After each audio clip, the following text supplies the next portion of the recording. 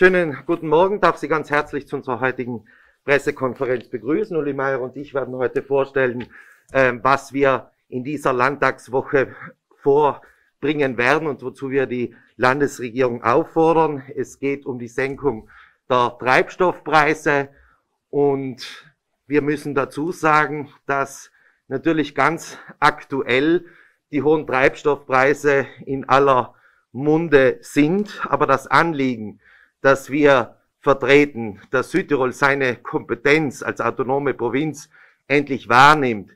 Und man muss dazu sagen, dass Südtirol schon seit dem Jahr 1995 die Möglichkeit hätte, die Treibstoffpreise zu senken, dass hier die Landesregierung endlich aktiv wird und auch etwas tut. Und ich möchte das Wort gleich weiterleiten an meine Kollegin Uli Meier, hier den Beschlussantrag auch zu präsentieren.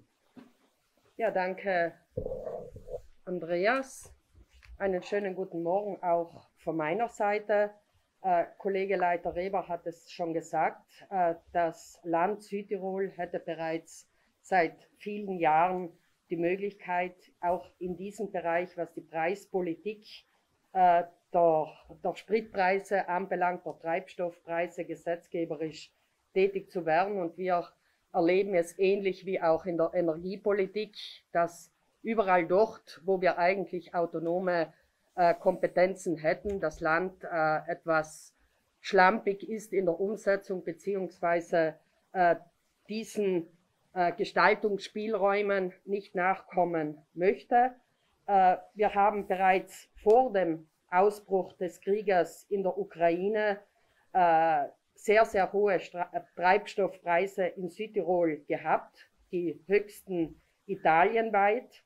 Und äh, nun hat auch der Ölpreis neue, äh, neue, neue Höhen äh, erklommen und auf Südtiroler Tankstellen wurden erstmals über zwei Euro für einen Liter Treibstoff verlangt. Und in Südtirol, in einem Land, in dem aufgrund äh, des alpinen Geländes der ruralen äh, Besiedelung ist der öffentliche Personennahverkehr natürlich äh, eine Alternative, kann aber nicht ausschließlich ähm, den Verkehr ersetzen und die Treibstoffpreise sind wesentlicher Teil äh, auch der Lebenshaltungskosten, die in Südtirol, äh, wie wir auch wissen, wie wir auch aus der Vergangenheit wissen, sehr, sehr hoch sind.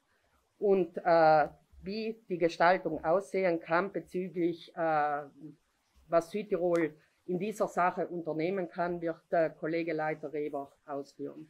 Genau, es ist ja so, dass äh, in den letzten Jahren die Landesregierung nur den Grenzgemeinden die Möglichkeit gegeben hat, den Treib, die Treibstoffpreise zu reduzieren in Form eines, äh, einer Förderung. Das heißt, die Bewohner der grenznahen Gemeinden an der österreichischen und Schweizer Grenze können mit ihrer Tankrechnung sozusagen auf der Gemeinde äh, das abrechnen und einen reduzierten Preis indirekt also bekommen. Warum hat das die Landesregierung gemacht? Nicht, weil sie die Bürger in den Grenzgemeinden äh, lieber hat als andere, sondern ganz einfach, weil sie wollte den, den Tanktourismus verhindern. Denn davor sind halt die Leute dann nach Österreich oder in die Schweiz gefahren, um billiger zu tanken. Und um das zu verhindern und um wieder die Steuereinnahmen äh, indirekt einstecken zu können, die 90 Prozent, die wir ja behalten können als Land Südtirol, äh, wurde das für diese Gemeinden eingeführt, aber nicht für das ganze Land. Andere Regionen, wie zum Beispiel die Region Friaul, hat das für die ganze Region äh, gemacht und nicht nur für die paar Grenzgemeinden. Und das ist schon äh, pure Ironie, wenn dann äh, die Landesregierung und die Südtiroler Volkspartei hergeht und in regelmäßigen Abständen alle fünf, sechs Jahre einen Alibi-Beschlussantrag einbringt, äh, die Akzisen zu senken. Das geht alles gut. Das haben wir schon ein paar Mal beschlossen in diesem Landtag. Aber es wurde auf römischer Ebene von den Parlamentariern auch hier nichts gemacht. Und auch diese Woche ist schon wieder ein Beschlussantrag der Volkspartei auf der Tagesordnung, wo sie Rom auffordert, die Akzisen zu senken. Dabei könnte sie eigentlich selbst schon lange aktiv werden und hätte alle Möglichkeiten dazu, hier die Treibstoffpreise zu senken. Macht es aber nicht, aber es lenkt halt gut ab, wenn man die Schuld immer Rom geben kann und selbst nicht aktiv werden muss. Ähm, es sind natürlich auch andere Strategien und andere Vorschläge im Raum. Ähm, Pendler Pauschale zu erhöhen oder auch den öffentlichen Nahverkehr billiger zu machen. Das geht alles in die richtige Richtung, das passt. Aber ähm, die äh, Senkung der Treibstoffpreise ist nicht nur auf die Mobilität und auf den Verkehr zurückzuführen. Und Uli Meier hat es bereits gesagt. Südtirol ist nicht Frankfurt oder München, wo ich mit U-Bahn, Bus und so weiter überall perfekt hinkommen kann, sondern wir müssen davon ausgehen, dass wir einfach viele Bewohner in der Peripherie, in den Tälern haben, die auf das Auto angewiesen sind, auch wenn sie zu einem späteren Zeitpunkt dann auf ein öffentliches Verkehrsmittel umsteigen können.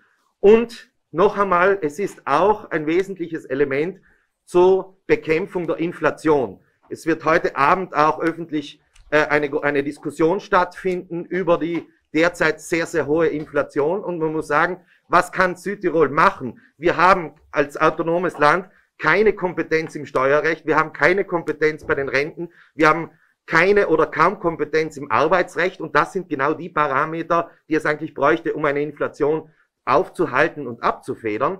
Deswegen muss man jene Spielräume nutzen, die man als Land hat. Und das sind zum Beispiel eben die Treibstoffpreise, wo man sagt, wenn ich die reduziere, lasse ich das Geld, lasse ich diese, diesen Betrag den Menschen in der Tasche, um damit ihr Leben gestalten zu können, anstatt über die Steuern es einzuholen. Und das ist ein bisschen das System Südtirol. Und dann muss man um Beiträge ansuchen und um Förderungen ansuchen beim Land. Und äh, uns ist es andersherum lieber. Das ist ein, ein, ein liberalerer Ansatz, dass ich sage, bevor ich es den Menschen aus der Tasche nehme, lasse ich es ihnen in der Tasche und trage so dazu bei, äh, dass die Kaufkraft in diesem Land wieder ein bisschen anzieht und wir nicht diese Probleme haben, vor denen die Bürger jetzt stehen.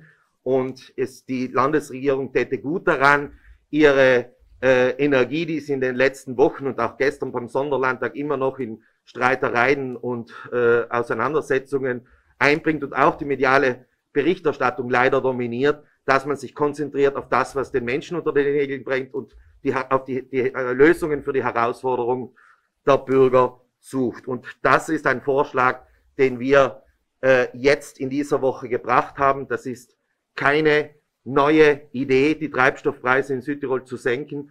Aber ähm, was bis jetzt noch nie ganz klar war, ist, dass Südtirol wirklich äh, die Möglichkeit dazu hat als autonome Provinz. Andere Regionen machen es auch selbstständig und wir als autonomes Land reden uns auf Rom raus. Das kann es nicht sein und das darf nicht toleriert werden. Wir werden jetzt im Anschluss auch noch für Fragen zur Verfügung stehen. Danke für die Aufmerksamkeit und wir werden Sie im, auf dem Laufenden halten, was in dieser Landtagswoche auch mit diesem Beschlussantrag weitergeht. Dankeschön. Danke, Andreas. Vielleicht einen kleinen Satz noch, äh, weil du das Stichwort gegeben hast, die Pendlerzulage.